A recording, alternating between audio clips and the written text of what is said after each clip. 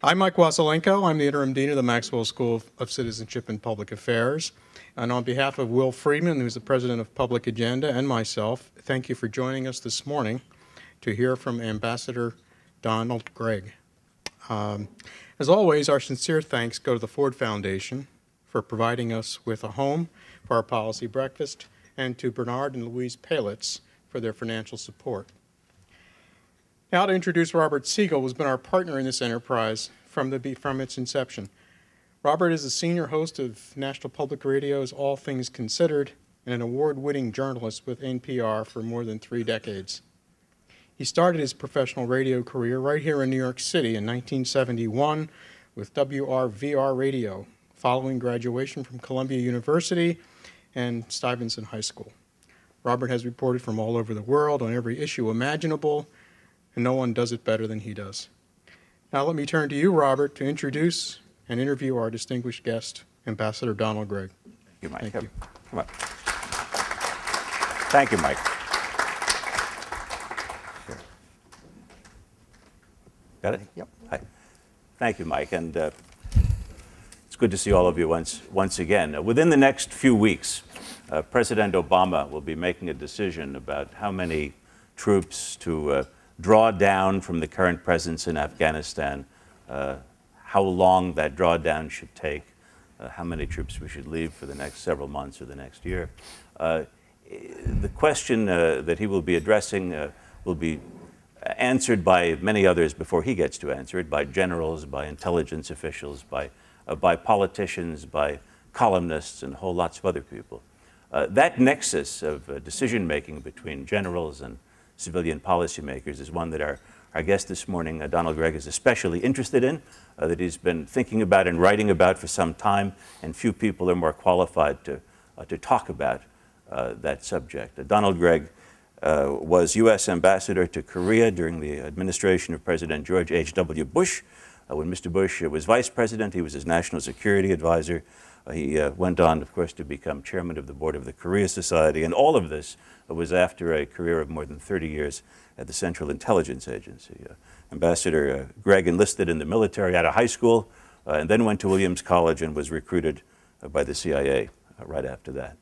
he's our guest this morning, and we're delighted to have you. Thanks for being here. Thank you.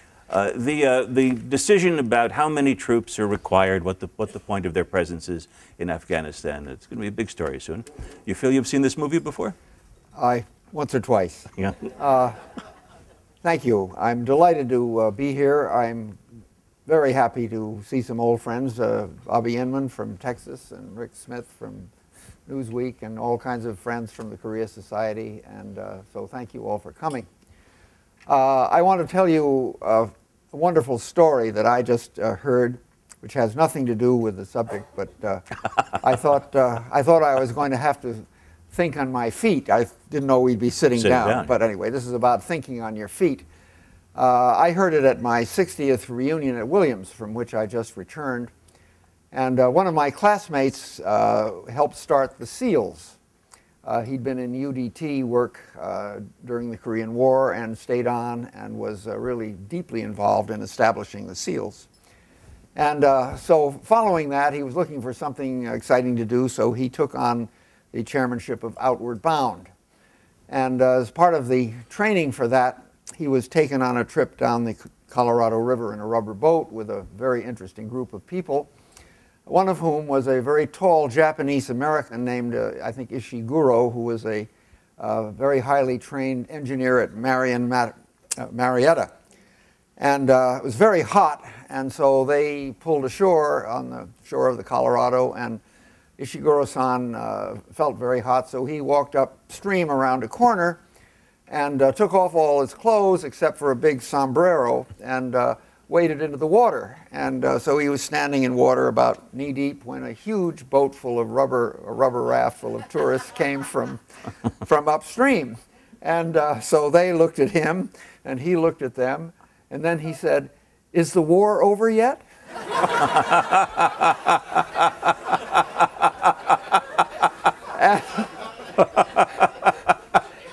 and on the boat was the chairman of FedEx and FedEx chairman yelled at him. He said, I don't know who you are or what you're doing, but I'm going to hire you.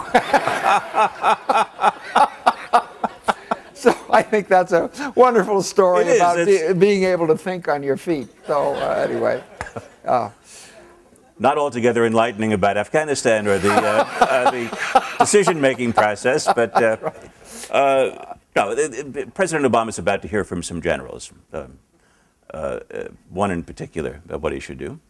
Uh, what's the track record of our, of our senior officers in giving advice to presidents about what has to be done?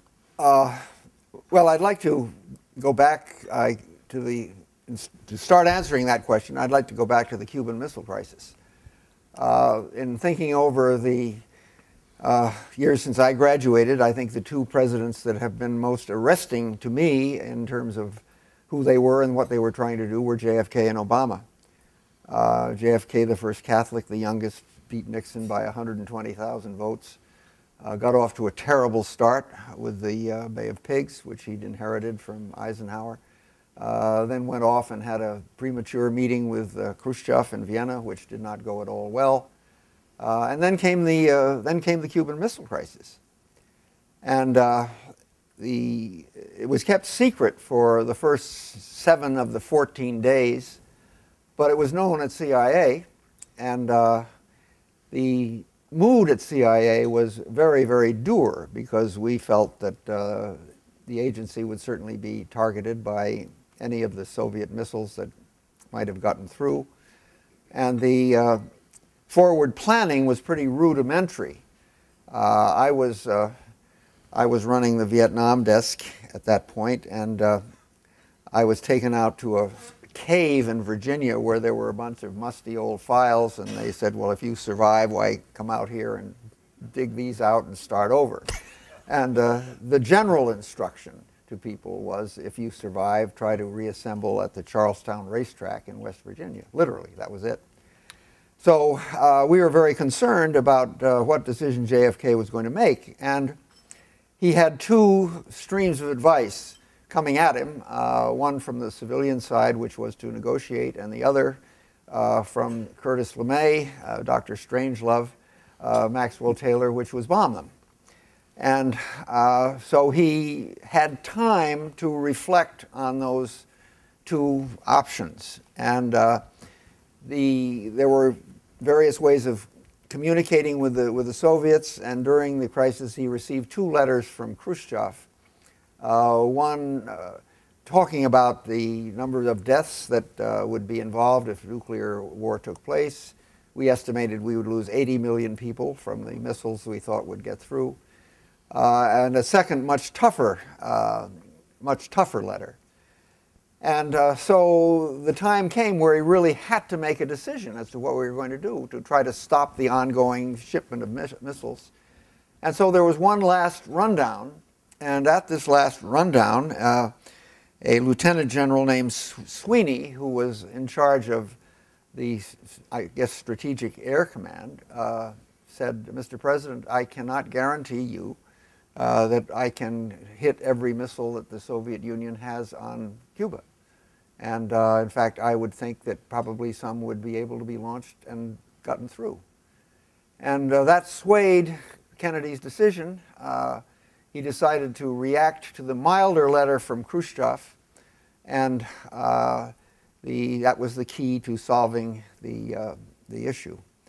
Uh, 20 years later, Maxwell Taylor, in an article in the Washington Post, was reflecting on a grim October, and he admitted that uh, they had no recollection. Those who were saying bomb, the, bomb them had really no recollection of the fact that they were standing on the edge of the apocalypse.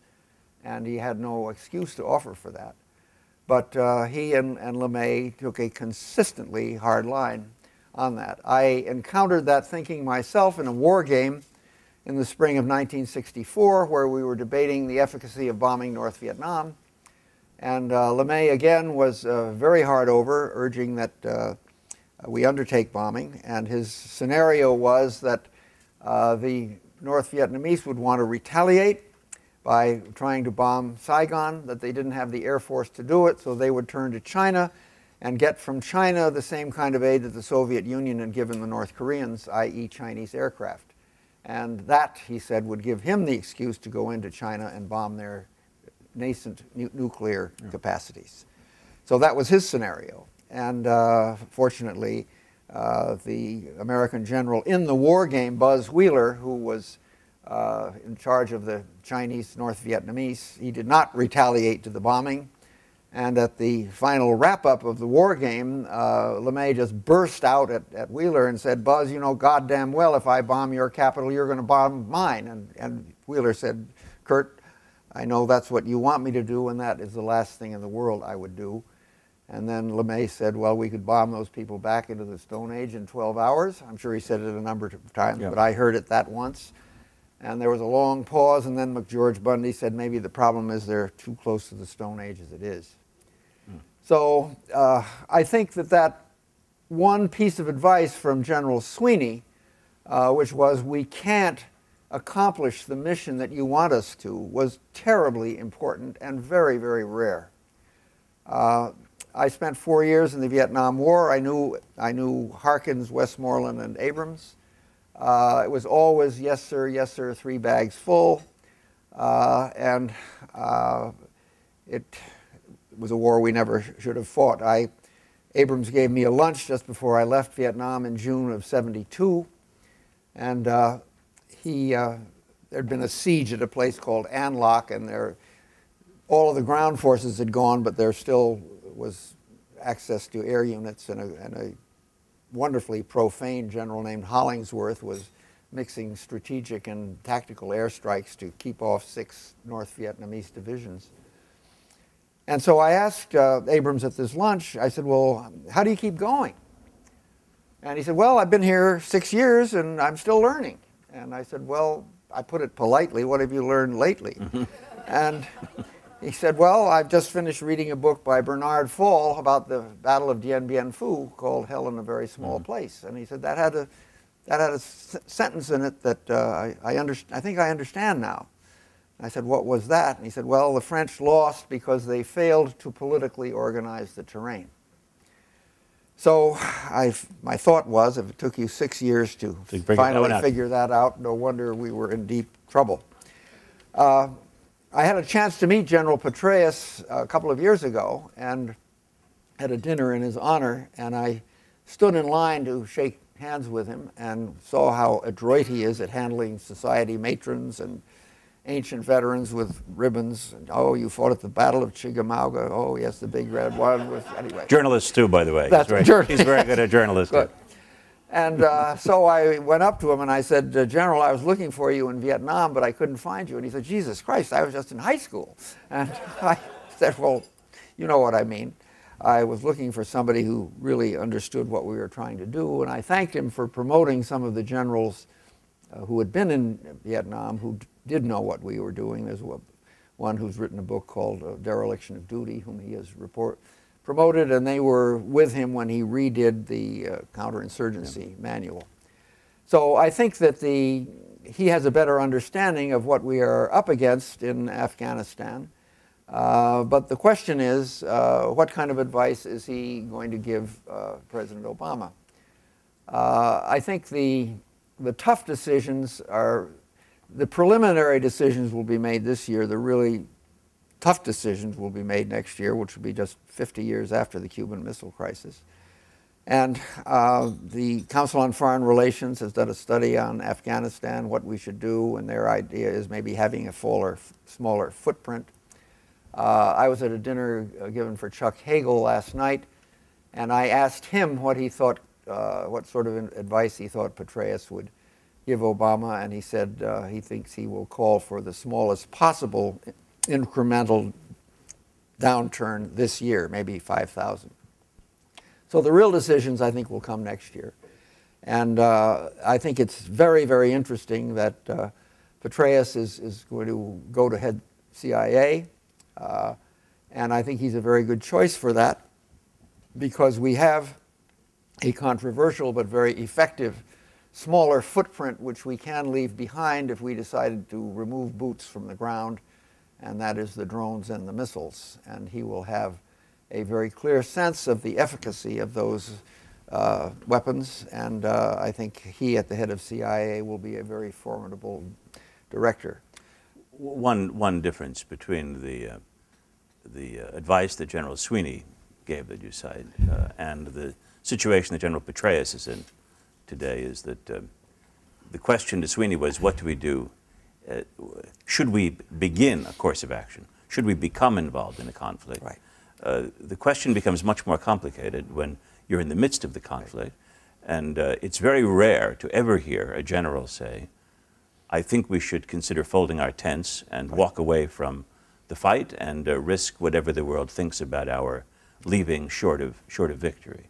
Uh, is, do, you, do you ever get that, that judgment from a military officer? I don't think so. Uh, I think there might have been a short retreat in Florida when we were defeated by Osceola and the Seminoles, but I think we went we, Back to we Jackson. went back. We went we went back. But no, that's not what we train generals We don't train do. them to do that. We don't train them to do Uh, I mean, we train them to take that hill.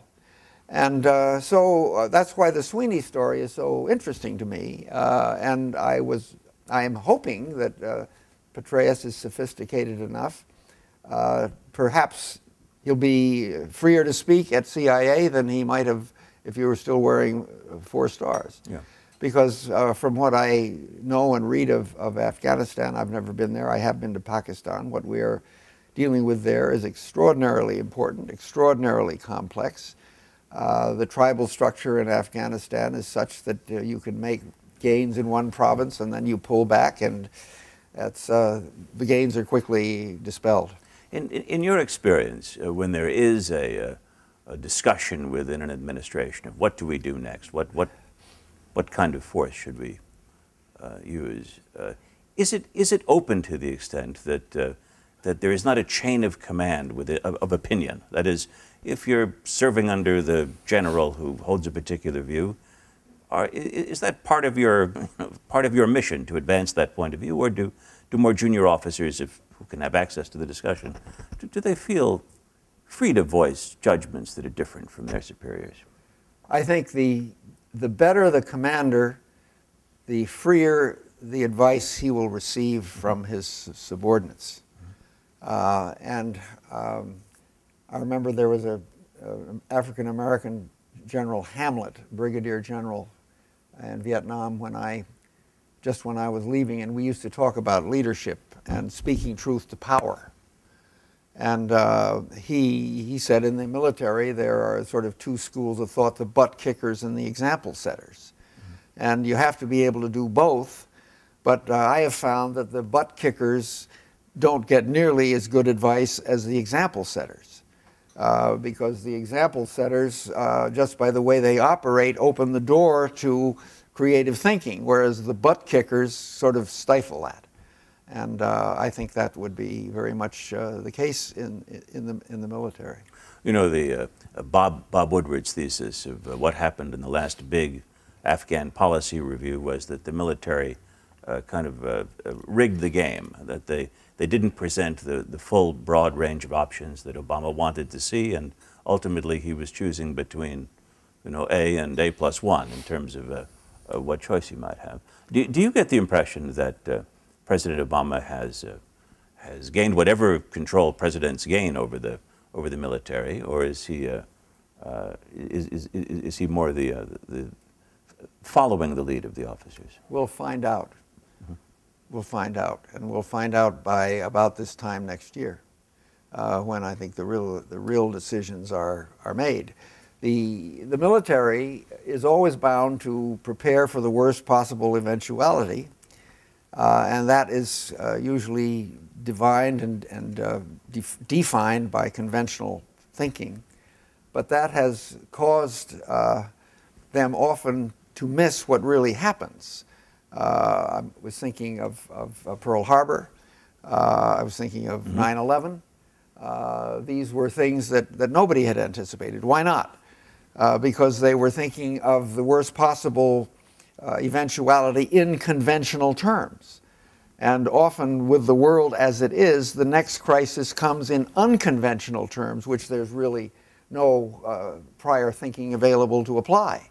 And by the same token, uh, we often, uh, there's a demonization factor. Uh, when we're dealing with a leader that we neither like nor understand, uh, we tend to uh, demonize that person. I sometimes give a talk called What Do Ho Chi Minh, Saddam Hussein, and Kim Jong il have in common? And what they have in common is that we demonize all of them. Uh, and Saddam Hussein, uh, in, in particular, uh, was, was a case in point where he, he was awful. Uh, and I was at a wonderful conference at Ditchley in the UK in 2005, and the Brits had called it to say, How did we both miss the call on, on Iraq?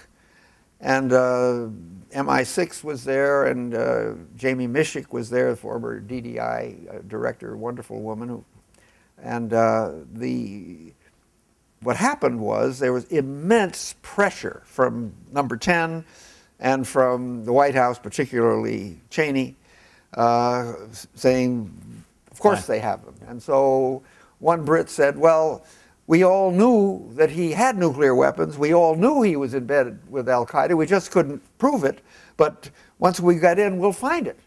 Well, they knew it because they had demonized him to the extent that he was capable of anything. Good. I'm, I'm, I'm glad you've raised the demonization because it gets us to field on which you are exceptionally expert, which is Korea. Uh, there is perhaps no more demonized regime in the world than, than North Korea, and because it's so inaccessible, relatively few people uh, have firsthand experience of it or its leaders. Just this week, there's another story out from a, a, a nonproliferation conference in, in South Korea that uh, if there's another North Korean test, uh, there'll be more sanctions sought, this time with uh, Russian and Chinese support. I, I want to get your sense of how uh, your sense of how responsive uh, to carrots and sticks the North Koreans are, whether you find them to be uh, rational interlocutors or uh, people with an agenda so peculiar that, uh, that our actions will have no particular effect on their, uh, on their actions. I do not feel that they are I think they are susceptible to what we do. I, I haven't been to uh, North Korea for, uh, the last time I went was uh, in conjunction with the Philharmonic concert, I think in the, the yeah. 80, 2005. Uh, in my first trip to North Korea, Kim Kye-gwan, the man whom I saw whenever I went, asked me three questions, which I always remember. One, why is George W. Bush so different from his father? And uh, my answer was, well, we're a big country, and Father Bush was raised in New England, and the son George was raised in Texas, and those are different parts of the world. Then the second question was uh, the key, and he said, how do you function as a country when you elect people as president who have nothing in common with their predecessors? And I said, well, that's the way democracy works. You have what we might euphemistically call continuity of leadership, so you don't have to deal with that, but we do we don't like the way a president behaves, we vote him out, and somebody comes in who does things differently. And he said, all right, I understand that, but that makes it very difficult for somebody trying to have a build a relationship with, with you. And uh, so when people say, uh, you know, they we bought that horse before and they're unreliable and so forth, I would say in retali- in response, uh, here are three instances where we very quickly contradicted ourselves in what we were doing. When, when I was ambassador, uh, the first thing I uh, tried to do was get our tactical nuclear weapons out of South Korea because we were trying to keep the North Koreans from going nuclear, and I knew very well that if we, once we put pressure on them, they would immediately say, well, you've got nuclear weapons in South Korea, so why should we not have nuclear weapons in North Korea? Uh, so I said, we need to get them out ahead of necessity. And fortunately, uh, we had very enlightened uh, commanders there, uh, Lou Menetrey and Bob Riscassi. And we had a very good and very underrated South Korean president, uh, Roh Tae-woo, with a very sophisticated national security advisor. And in, uh, within a year of my arrival, I was able to send a cable back saying, with full support of General Riscassi, in full report, support of the Blue House, I recommend that you remove our nuclear weapons from South Korea. And President Bush uh, used that as a fulcrum to remove our tactical nuclear weapons from all around the world. Mm -hmm. Well, doing that opened up dialogue with, with North Korea. And in the process of that, we, we canceled uh, a large training exercise called Team Spirit, which was put on every year, which the North Koreans hated because it was a reenactment of our rushing to the defense of South Korea in, in, in 1950. And so we canceled it for the year, for the year 2000, 1992, and a lot of talks took place. There were eight prime ministerial visits and so forth. And then out of the blue, uh, it was announced by the Pentagon in September of 1992 that Team Spirit would be reinstated. And who was, uh, who was Secretary of Defense? Dick Cheney. And uh, I had not been consulted uh, by that. I would have opposed it. And it undid everything that had been done. Uh, and the next year, the North Koreans pulled out of the NPT, and it set the stage for a major crisis, which was uh, sort of 1994. The non. Uh, so just very quickly, that's number one. Number two was when uh, Newt Gingrich uh, became Speaker, and the Republicans uh, captured both houses. They didn't like the agreed framework, which we had set up with the North Koreans, which they shut down their nuclear reactor in return for heavy oil. Uh, the Republicans didn't like that, so they dragged their feet on the oil and finally destroyed that. And then the third was when uh, George W. Bush uh, made them part of the Axis of Evil 14 months after uh, the North Koreans had invited Bill. Clinton to go. So we have never stuck it. Uh, for the long term and with consistency in our dialogue so with the North. They would, from their perspective, right we've been a very fickle partner yes. in all of these arrangements. The only the oil seems to be the only material issue here. The others are matters of dignity and and uh, and offense, uh, symbolic offense. Yes, which is very important. Very important. Yeah. Um, For example, I last uh, about almost two years ago, I wrote a letter to Vice President Biden suggesting that uh, Kim Jong Un be invited to the United States for an orientation tour. Uh, he had just surfaced as a possible uh, leader. This is the, the heir, the, the heir apparent. Uh, 26, went to school in Switzerland, spoke some English, Michael Jordan fan. Uh, sounded like a fairly regular guy. I thought it might be a nice gesture to invite him, as a, you know, just to have him get to know what we were like and to give us a chance to know what he was like. But uh, for political reasons, that I was told, oh no, we can't do that. The Republicans would tear our heads off, uh, which they probably would have. So the, I mean, while we're all going to be focused on Afghanistan and, and Iraq and the Arab Spring and the European currency crisis, Korea a year from now. I mean, do, we, do you see any way out of this? Do we, are we headed for, uh, for uh, a, a, military showdown at some point with the North Koreans? I think this is a very dangerous year. Uh, 2012 is a very big year for them. It's the 100th anniversary of the, bill, of the birth of Kim Il sung. Uh, they want to declare that they have become a prosperous country. Mm-hmm. Uh, Lee Myung-bak uh, leaves office. A new Korean president uh, will be elected. Uh, president Obama is up for re-election.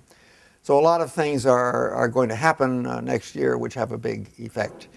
Uh, China's influence uh, has grown very strong uh, in North Korea.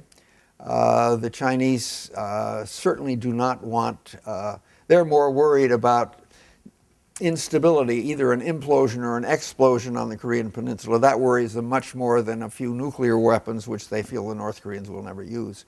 So, uh, my feeling is the only way to deal effectively with North Korea is to have sustained dialogue with them. Uh, and I hope that uh, when there is a new president in uh, South Korea, that will become more possible.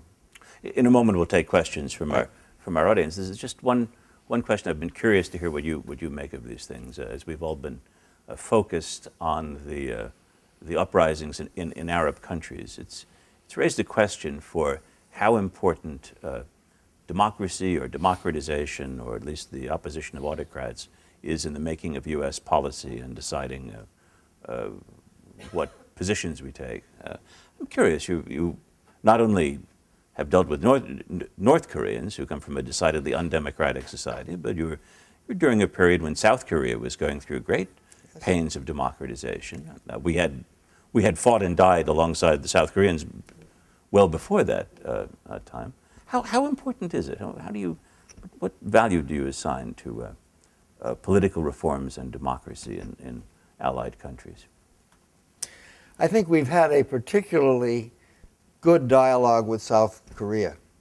Uh, the Korea e- Economic Institute did a very interesting thing two or three years ago. It contacted every living Korean ambassador to the United States and every living ambassador to Korea and had us all write accounts of our ambassadorship and what we were dealing with. Uh, and it's a very, very interesting pattern uh, because the relationship clearly had ups and downs, but there was a continuous relationship and continuous dialogue. Uh, and it had some down, downsides and it had some upsides, but the, the result is, is uh, just the magnificent achievements of, of South Korea. President Obama recognizes, as no other president has, that South Korea is our most reliable ally in, uh, in Northeast Asia, and I think of them as approaching for us the role that Britain has played for us in Europe. Uh, it's not there yet, but we've had trouble with Europe. I mean, th- or with, Yeah. the, with the UK. Think of the Suez Crisis in 1956. We don't always agree with them. We won't always agree with North Korea, but their With, with, with South Korea. with, with South Korea, but their performance and their growth has, has been tr- tremendous. And as a result, uh, I think it's a very dynamic democracy. I spent 10 years in, in Japan, and uh, we transformed Japan in a way, but I think the uh, perpetuation of the emperor in place has really confused their own attitude toward the past because the man in whose name every atrocity was committed was kept in power by MacArthur.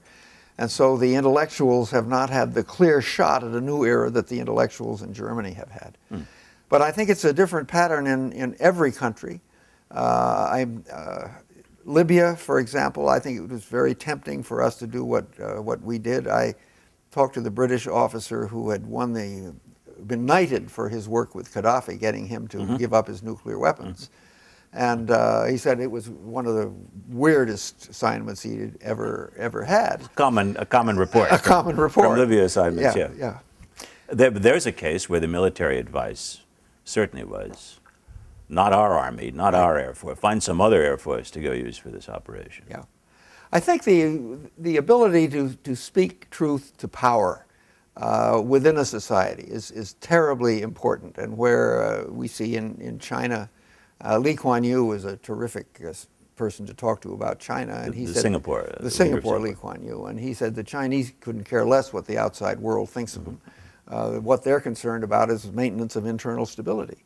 And I think that's absolutely true. He, on his part, uh, when asked, why do people keep coming to you for advice? And he said, well, I'm 88 years old, I've had a lot of experience, and I haven't forgotten my mistakes. That's a key thing. He hasn't buried them, he's learned from them.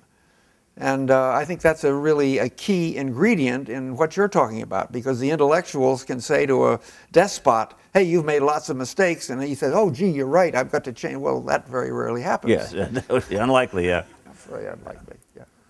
Well, perhaps, well, perhaps we'll return to that. Let, let's let's uh, take some questions from the audience, starting with uh, Bob Inman.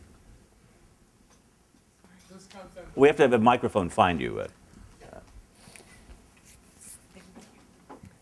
This comes under the category of be careful what you ask for.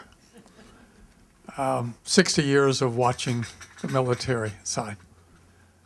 One notable characteristic when there is a new president elected, there is a great rush to go please the president, to come to his attention, to be responsive to what he wants.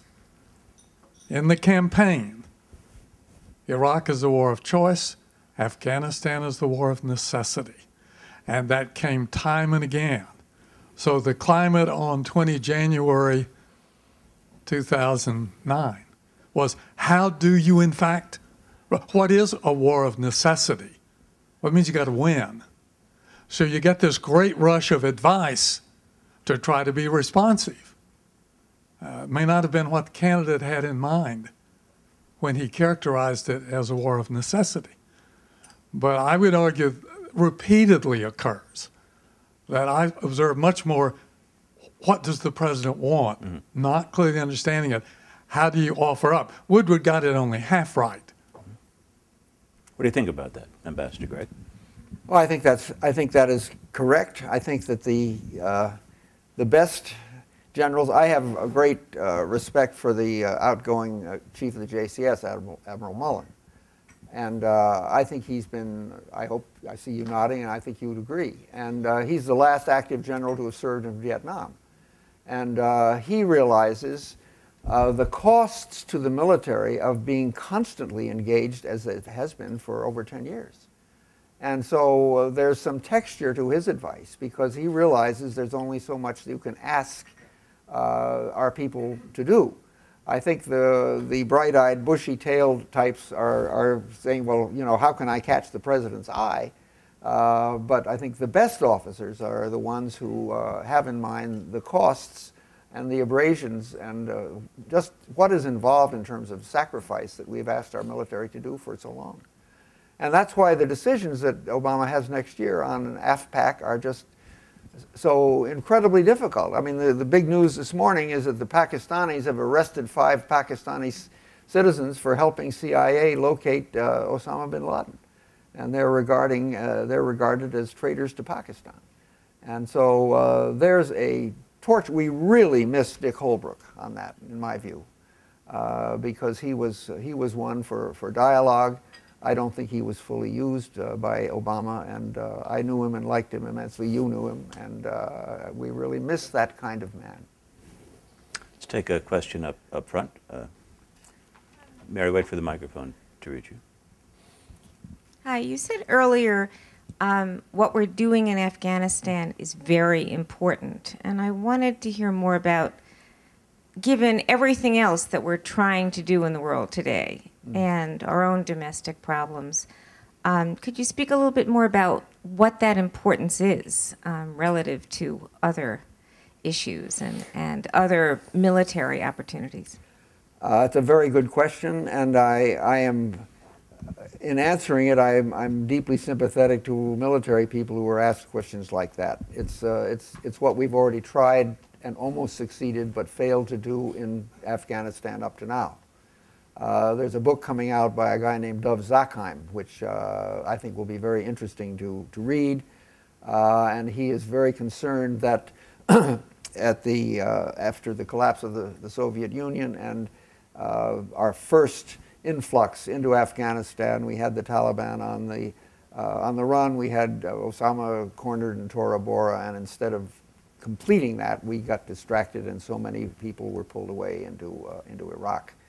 Uh, so we have made a huge investment there uh, in terms of, of blood and uh, lives and effort, and for us to not leave something behind uh, would be something I think would be sort of a tin can we would tie to our own tail. So how, how can we leave respectably? I don't think we can win it. Uh, I think it's, it's a, it would cause in, involvement there for a generation, and I don't think we're, capable, we're able to do that uh, today. So I think it's important to kind of strike a balance uh, and to deeply learn from it. And I think Petraeus and the people with him who have redone our approach to counterinsurgency and counterterrorism know that more clearly than previous generations of leaders. That's not a good answer, but that's the best I can do. Isn't it, I mean, what did we learn from Vietnam? We have survived that failure. You say we have survived. Yes, we have. Uh, and I think we did. I think Petraeus and some of the other people, McMaster, who wrote the book Dereliction of Duty, there were, I think a great deal has been learned ab about that. I think we are, it's interesting to me that, that we're not absolutely wedded to counterinsurgency. I think there's a healthy ability to say, hey, look, there's only so much we can do there. We really have to focus on counterterrorism. And the thing I referred to earlier when I said Petraeus going to CIA with a formidable weapon, I'm talking about our, uh, our missiles and our, our, robots, which are, you know, the drones. And uh, that is a weapon that is a very effective weapon. It is a very controversial weapon, but it is, in terms of cost effectiveness, it's, it's very high. You're saying it's an effective counterterrorism. Counterterrorism, but, Not necessarily. Absolutely not. It's detrimental in that way. Let's stay on this side of the room for a second. Hi, Don. Thank you for your always illuminating observations. Um, Colin Powell is a great American, and it made me very embarrassed and sad to see him lying to the United Nations um, eight years ago. And uh, after that, uh, I developed this kind of uh, naive knee jerk response whenever I heard the words weapons of mass destruction. I just assumed it was more propaganda and I paid no attention. Um, but what happened yesterday in Pakistan with the arrest of the uh, informants um, makes me wonder um, how safe are the nuclear weapons in Pakistan? Is it possible for uh, Al Qaeda or other non state actors, uh, the, um, the groups that were responsible for the Mumbai attack, and others to um, uh, have access or to compromise uh, those weapons in Pakistan? And um, what is the U.S. doing about it now? What should the U.S. be doing about it? Is uh, our military relationship with the Pakistan Army as good as our relationship with the Egypt Army, for example? Um, thought you might want to comment on that. Well, I, I, I don't feel even qualified to comment. You have raised imponderables, which uh, I am not in a position to answer at all definitively, and which I think the very best people who work on it day and night are working on it. Uh, I understand that at a recent meeting, uh, in terms of, of cooperation with Pakistan, somebody knowledgeable would say, from 1 to 10, where would you rate our cooperation from the Pakistanis? From 1 to 10, he would say 3. And uh, General, I had great hopes for General Kayani. Have you ever met him, Bobby? Yeah. I also had great hopes. Ha- had. Had, this is the Pakistani Had. chief of staff. Yeah, and, and yeah, yeah. And uh, it- Admiral Mullen also, I think, has had great hopes for. Yes. He's spoken of his close relationship That's with right. General Kayani. And well. so, uh, if if we don't have really rock solid relations with the Pakistani army, the questions you raise become uh, even more uh, concerning. And uh, as I say, I, I wish Holbrooke were still around, and I'm, I'm glad we've got a very good ambassador there. But it's a terribly difficult and dangerous problem. Let me ask you though, a, question drawing upon your, your CIA days here, which is uh, you, you, you run an operation uh, in a friendly country without the knowledge of the local intelligence service or, or government, and several citizens of that country help you do it. Aren't they in trouble? I mean, are, aren't they, uh, uh, would, would their home government uh, commend them for doing this? Or are, um, isn't it obvious that a Pakistani who's assisting the CIA without his own country's knowledge is, is going to pay consequences? Well, that's that? why you hear from the agents of the mantra sor- sources and methods. Yeah. uh, because the uh, a case officer in CIA has it as his number one duty to protect the identity of, of his source. Uh, because the people who tell you these things are laying their lives on, on the line. And uh, it, uh, the agency goes to extreme lengths uh, to protect uh, their sources. And I think it's, it's tragic that these sources in Pakistan have been discerned, and it's a testament to the difficulty of the relationship we have with the whole Pakistan apparatus. Let's take a, another question. Why don't you? You have the microphone. Here's a hand over here.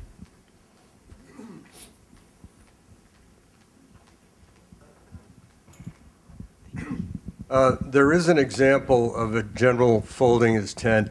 Uh, In 1961, there was a full-scale rebellion going on in Algeria. Uh, The army was trying to crush it. The French were divided as to whether to continue their presence there. When de Gaulle came into power, he overnight pulled the French army out of Algeria. He just did it by announcing they were no longer going to stay there. Now, that's what I was hoping Obama was going to do when he came into office. And still, here we are three years later, and you're saying it's now going to be another year before anything significant happens. Is there any possibility of reversing this thing and having Obama do something along the lines that de Gaulle did and just end this? Well, we will, we will find out. I mean, Obama has doubled the number of troops we have from what, the, what it was when he came into the presidency. And that was because he heard uniformly from, the, from Bob Gates, whom I know and respect very, but you know, it's necessary to do it. And uh, I think the, the surge in, in uh, Iraq and the surge in Afghanistan paid off short term. Uh, but uh, I, I do not see ev- any evidence to know that that's, that's permanent. And you hear the mantra from our military it's fragile and reversible, what we've achieved there. And uh, I don't know how long we're going to be saying that, but uh, I don't see, I think it's going to take something such as you described to really cut that. It's, it's what Congress finally did in Vietnam. Uh, they cut the purse, purse strings, but I'm not that, but, and that was a bilateral effort. And I don't see much of anything going on bilaterally in, in, in Congress. But uh, I, that's why I say next year is going to be, I think, the defining year for the kind of President Obama is. He's young, he's inexperienced, he's highly political, he's the first black man. He's got the toughest agenda of any American president since Franklin D. Roosevelt. Racism is alive and well in this country. He has a very tough job to do, and I think his presidency will be defined by the decisions that he makes in the next 12 months. Yes, sir. Uh, it's good to see you again, Ambassador Gregg. Um, your voice is greatly missed. Uh, just a footnote on Algeria. I was living in North Africa at the time. Uh, de Gaulle, while he kept the troops on the ground before withdrawing them, was engaged in many years of negotiation with the FLN. Now, we don't know how far negotiations with the Taliban have gone. I have no idea. That seems to be a kind of a will o' the wisp, and it seems to be a very local thing. That when there are gains made in a district, it's sometimes possible to have the local leaders sit down with the Taliban and they say, well, this is the way we'll do it this week, but that may not be the way we do it next week, uh, particularly if an American has closed the fire support base, so forth.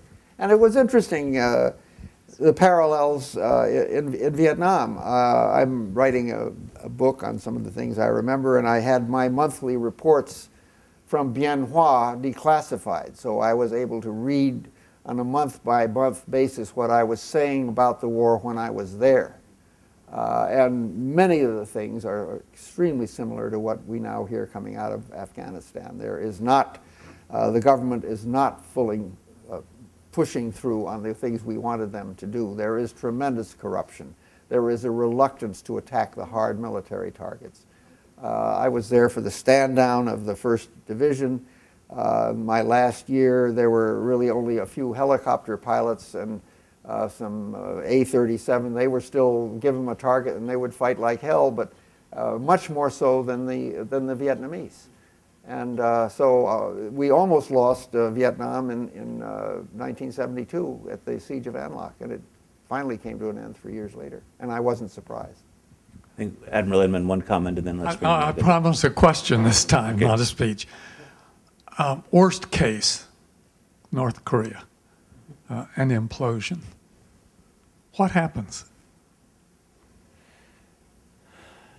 Well, there will be thousands of people moving into China, which is what the Chinese fear most. Uh, there would be great questions about what to do at the DMZ, which is very heavily mined.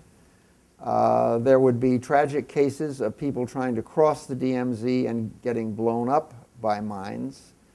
Uh, I think there would be, uh, I don't think there would be much formal unit fighting. I think there would be just tremendous chaos. Uh, and uh, who would emerge? Uh, I have no idea. I don't think anybody has any idea. I call North Korea the longest running failure in the history of American espionage. Again, I can say that because I was part of that failure for 30 years. And we still don't know what they think. We listen to them, we look down at them, but we don't know what's going on in, in their minds. My take from uh, my five meetings there and the long talks I have is that their number one a, a objective is a solid dialogue with us so that we will remove from them the threat of, our, of a nuclear or military attack upon them. And that if they get that, other things will become possible. But that is going to take a longer span of consistent dialogue with them than we have been able to muster ever since I've been dealing with them. Before we leave North Korea, I just want to have you address one other point that, you, that you've, you've spoken about or written about, which is uh, uh, a year ago March, uh, there was an event that uh, soured whatever progress there seemed to be on the Korean Peninsula, the sinking of a South Korean naval vessel. Right. A team of uh, Western uh, experts, including American experts, were brought in and they uh, investigated, and the South Koreans concluded on the basis of that that it had been a North Korean torpedo from a midget submarine. Uh, and uh, there is, a, there is an, al- an, an alternative thesis uh, that it was a, a mine and it was a, uh, not nearly such an aggressive act. And you're, you're, you're open to that interpretation. Yes, I am. Uh, I have written about it. Uh, the Russians uh, sent a team, uh, and their thesis was uh, they found remnants of a fishnet wrapped around one of the propeller axes. They felt that uh, what might well have happened was that a fishnet that they got tangled up with dislodged a. There are a lot of old mines lying around there, and that might have dislodged one that caused the explosion. They began to ask questions along that line, got no answers, and so they went home. Uh, I asked a well-placed uh, Russian source, uh, "Are you going to make this report public?" And he said, "No." I said, "Why not?" And he said, "Because it would be very damaging to both Lee Myung-bak and President Obama." Uh, since then, uh, my, I'm still very skeptical on You it, uh, and there are uh, others uh, who, who feel as, as, as I do. It's, the problem is that the, the Chonan incident is a roadblock to establishing any kind of dialog between North and South Korea, because the South Koreans are saying, we are not going to talk to you unless you're, you apologize for thinking the Chonan. The, uh, the North Koreans said, we did not sink the Chonan, we're not going to apologize for something we didn't do. So there you are. And uh, so my call would be, uh, let's have another look at it, because there are uh, some issues that have been raised. A mollusk found on the smoking gun, was part of the North Korean submarine found near the, uh, the, sink, the sunken ship uh, that had a mollusk in it, which would uh, indicate that it had been underwater for some time. And the mollusk is found more frequently on the east coast than the west coast. And uh, so there are these things that are there to be investigated. So I hope at some time uh, the North Koreans might be invited and say, here, we're going to take another look at it. And they've been wanting that, but that's uh, been turned down. And I'm extremely unpopular with the South Korean. Uh, For saying this. For, for saying Yeah, this, yeah. extremely. And I think probably with some friends in the Pentagon also. Uh, up front, Rick Smith.